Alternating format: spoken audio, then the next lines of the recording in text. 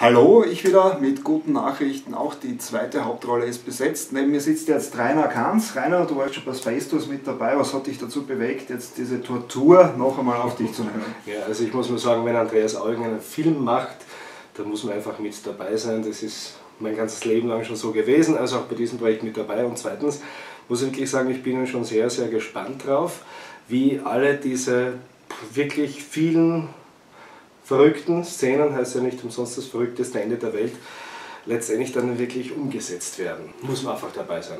Bin ich auch gespannt drauf und in Zukunft Vorsicht, er spielt den Pizzaboden. Wenn es in Zukunft läutet, könnte er vor der Tür stehen. Mit den größten Hostien der Welt.